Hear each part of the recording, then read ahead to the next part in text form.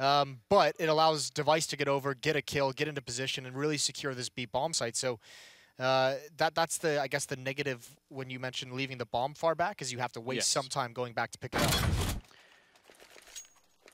And Top Banana is kind of the hot spot of this map right now.